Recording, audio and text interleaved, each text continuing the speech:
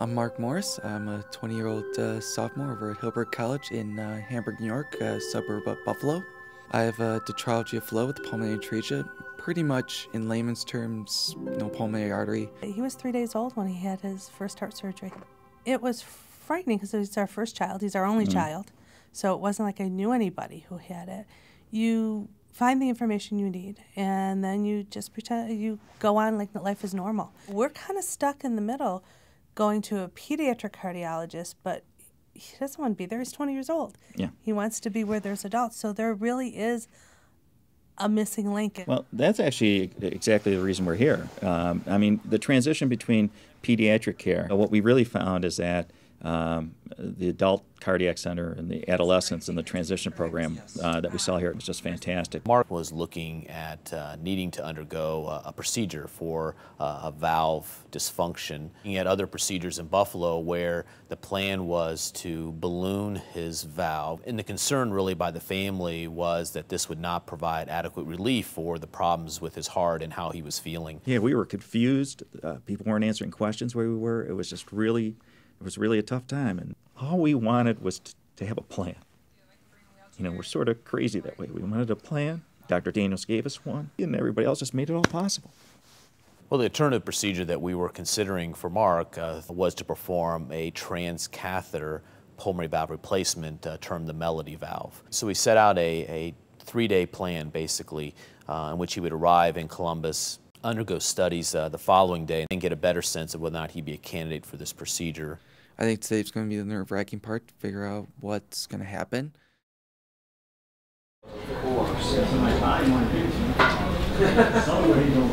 and then we'll get in trouble. And we'll get Mark's having his very first MRI. It's, we're real excited about it because it's going to give us a definitive idea of what's going on in his heart. So how do you feel? I'm a little nervous. Mark, ready. He's going to be with us about 45 minutes to one hour, okay?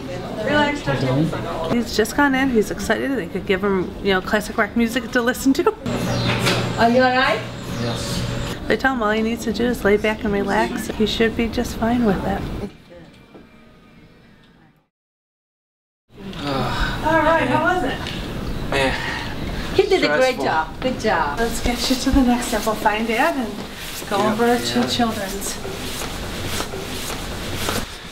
Uh, going now to, to deal with the stress test and then uh, hopefully get something to eat afterwards. Follow the, the blue ribbon. They wanted to go invasive very fast in our uh, where we were coming from. So being able to do an MRI and then doing the stress test, a lot of things right off the bat is fantastic for us. Is he Dr. Daniels today? Yes. Stress test and then meeting with them at 3 o'clock. Um, he underwent an exercise study uh, in general to see how he would do with an exercise test. Three, two, one. He did not uh, perform uh, well enough uh, to make us feel comfortable with leaving his valve alone at this point. So, so we're discussing now with him about proceeding with pulmonary valve replacement in the cath lab. Um, he has narrowing of his pulmonary valve and also leakiness, insufficiency of the valve uh, that's probably led to a, a little bit of right ventricular enlargement. You know, Dr. Cribbs asked you all the questions. I'm all updated on everything. I think we feel really comfortable with your heart and what's going on. So, so tomorrow's going to come in for his cardiac catheterization. Uh, we've discussed the procedure with him, and they're agreeable to go ahead and proceed with a cardiac catheterization, to determine if he is a Melody transcatheter valve uh, replacement candidate. So, Mark, all they're waiting for now is Dr. Cheatham to come in. He'll probably talk to you one last time. Yeah. Uh, make sure you're ready to go. You ready to go?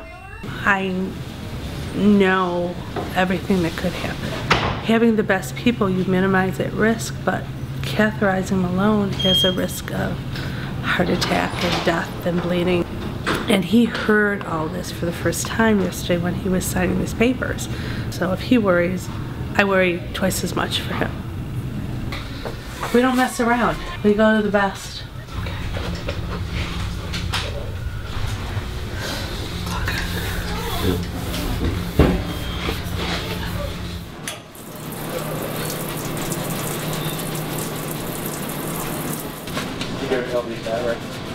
We'll measure his blood pressure in all the chambers We'll measure the amount of oxygen in all of his chambers. He has four chambers in the arteries. And then we'll take a movie picture. We call it an angiogram. And it will show us exactly where his current problem is. And then after we do all that, then there's a series of things we have to do before we're ready to put the valve in.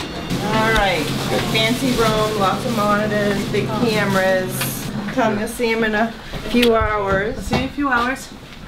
We'll FaceTime with everybody, All right. okay? Okay. We'll watch the Yankees game tonight, All right. okay? He'll be under general anesthesia for the procedure, and once everything's in place, the number of measurements are done. There's compliance testing of the valve to see if the valve's going to fit into place, and once everything has been measured and confirmed, then the Melody valve hopefully will be placed uh, in, in the conduit position. He had a lot of time for the tissue to build up calcium. So he had large chunks of calcium through, got a piece of mobile calcium right there. This is the valve um, vein segment from the neck vein of a cow. It's been shaved down and it's been sewn inside the stent. We can put a new tube and a valve inside the old system that they have with a catheter. So we can go right through their little blood vessel in their leg or their neck blood vessel and we can go directly into their deteriorated valve and tube and we can put a brand new valve inside without open heart surgery. And they can go home 24 hours. It's obviously a big advance and for people like Mark it's a, it's a, it's a huge advancement in their life because they were looking at many open heart surgeries in their lifetime. They were able to put two stents in. They're going to now take pictures and see if they can prepare to put the valve in.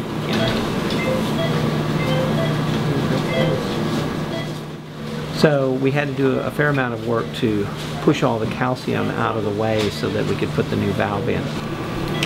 So it shows you we've got a really nice valve and it's working. It's working really great. Everything looks very good. He has very little narrowing. He has uh, essentially no leakiness of the new valve. Obviously, he's avoided another open heart surgery after this procedure. Yeah, he did, he did very well with that. A big relief that they were, everything worked out. And, uh, Dr. Cheatham's been fantastic, and he's got better blood flow. He'll feel better. So we're just excited about everything. You can be a normal college student. Yeah. So we just want to say thanks to everyone.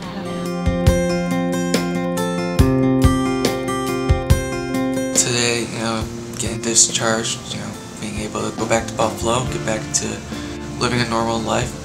I can go back to school tomorrow. I'll go back with, to visit my regular cardiologist in Buffalo in about a month to check the leg area, and then come back uh, here to Columbus to do follow-up procedures within the next six months and a year. Just everyone. It doesn't matter who you spoke to, whether it's the head of the department to the wonderful woman down the cafeteria. They wanted to give me a hug. I mean, it's just so sweet. The place has just exceeded any expectation anyone could have ever had. Dr. Daniels and Dr. Cheatham are incredible. You think they have taken care of Mark from the day he was born.